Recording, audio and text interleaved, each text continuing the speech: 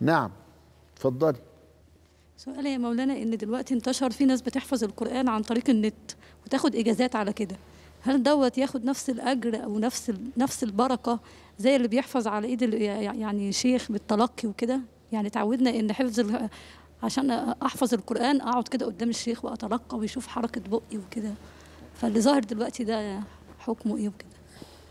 لو ما هو بهذه الوسائل وعن طريق ما يسمى بالوسائل ال- الحديثة والتطبيقات اللي مثل الزوم الزوم ده تطبيق من تطبيقات تمام. كتيرة بيبقى في اتصال من جهتين والشيخ شايف حركة شفايفي والأخطاء التي أرتكبها بالنطق ال- ال- الخطأ أو المحتاج إلى تصحيح وأنا سامعه بال- بالشيء ال- ال- الواضح كده يبقى اذا دي عاملة زي التليفون بس أضافوا ليها الصورة. يبقى عندي أنا دلوقتي صوت وصورة.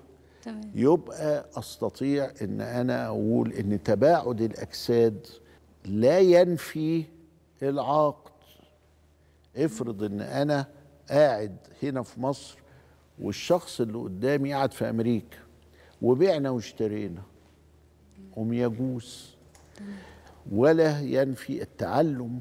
قلنا وقالوا وناقشنا ورد رد عليا فرديت عليه إلى آخره.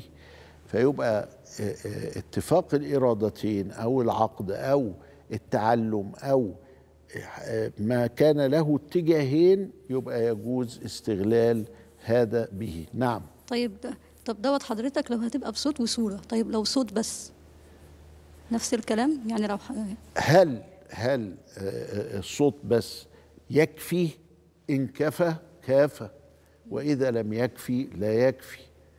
هو ده كله حسب النقاء بتاع الصوت والكيفية بتاعته. ليه بقى؟